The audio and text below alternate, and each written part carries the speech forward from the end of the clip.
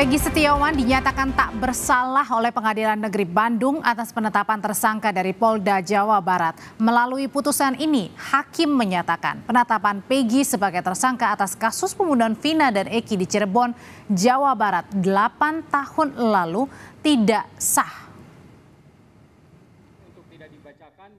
Nomor 14 tahun 2012. Setelah sepekan persidangan di Pengadilan Negeri Bandung, Hakim Tunggal Eman Sulaiman mengabulkan gugatan pra peradilan Peggy Setiawan atas penetapan dirinya sebagai tersangka. Hakim menyatakan proses penetapan Peggy sebagai tersangka tidak sah dan harus batal demi hukum serta membebaskan Peggy dari tahanan. Satu, mengabulkan permohonan pra peradilan pemohon untuk seluruhnya.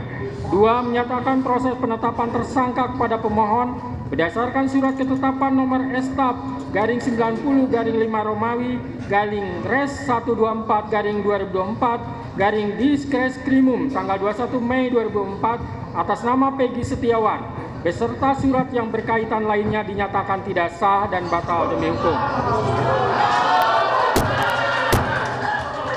Menetapkan surat ketetapan tersangka nomor Estap garing 90 garing 5 Romawi garing Res 124 garing 2024 garing Diskrekrimum tanggal 21 Mei 2004 batal demi hukum.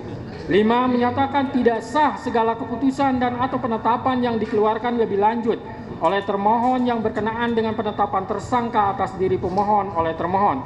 6. Memerintahkan kepada pemohon, memerintahkan kepada termohon untuk menghentikan penyidikan terhadap perintah penyidikan kepada pemohon. Tujuh, memerintahkan kepada termohon untuk melepaskan pemohon dari tahanan. Sesaat hakim mengabulkan gugatan pra peradilan, keluarga Peggy Setiawan tak kuasa menahan tangis.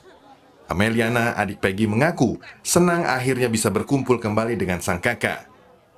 Sementara menurut Kartini, ibunda Peggy, putusan ini membuktikan Peggy tidak bersalah, apalagi terlibat pembunuhan. Banyak, banyak terima kasih karena anak saya sudah kembali.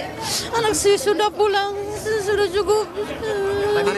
Kasihan Peggy di sana, sudah terlalu menderita. Tidak pernah melakukan kesalahan. Anak saya telah di penjara. Sementara itu, putusan Hakim Pengadilan Negeri Bandung juga direspon keluarga mendiang Vina. Sukaisi, ibunda mendiang Vina mengaku menghormati putusan hakim jika Peggy akhirnya dibebaskan dari status tersangka. Terkait siapa pelaku pembunuhan Vina dan Eki, Sukaisi mendesak polisi segera menangkap tiga orang yang dinyatakan DPO.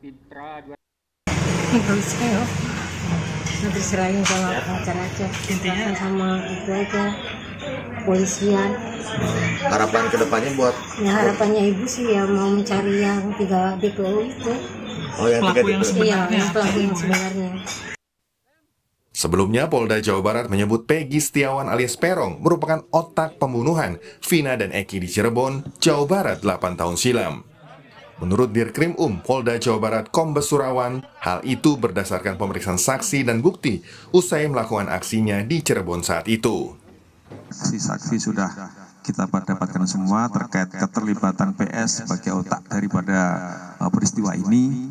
Jadi kita tidak uh, apa namanya uh, memperhatikan lagi terhadap keterangan PS. Yang penting kita sudah mengumpulkan saksi-saksi kunci dan keterangannya sudah kita minta dari para saksi.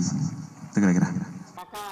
Pasca proses penetapan Peggy sebagai tersangka dinyatakan tidak sah dan harus batal demi hukum, serta membebaskan Peggy dari tahanan, Polda Jawa Barat menyebut mematuhi dan menghormati putusan hakim.